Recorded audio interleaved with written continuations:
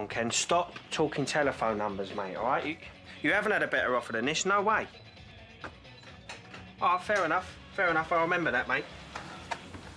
That was Ken Hyde. He's had a better offer for them motors, apparently. Listen, I've got bigger fish to fry right now, okay? Have you heard anything on Kat and Kush? What's his problem? Oh, bigger fish, apparently.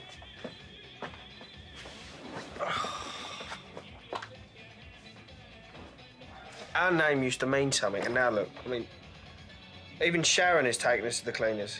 I mean, if we roll over any more, Callum, we, we might as well be sleeping on the floor.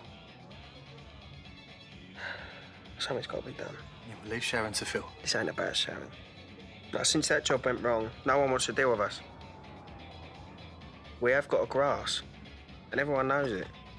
I'm going to find out who tipped off the police, and I'm going to find out who put a bug in the arches, and I'm going to do it today.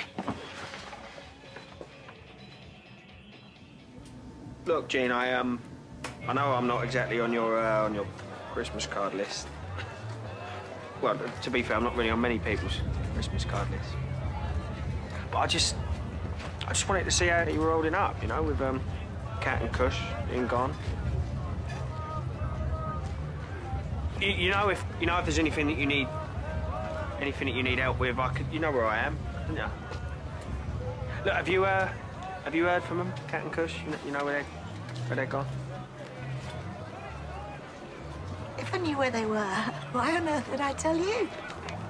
You're poison, Ben Mitchell. To my whole family. Oh, To everyone.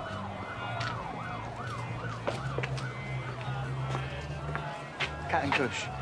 Then you played that tune already. Who else could it be, Kat? What are you going to do, Ben? Well, just arrest the whole family? If you're innocent, you don't do a runner, do you? Truth always catches up with you in the end, Callum.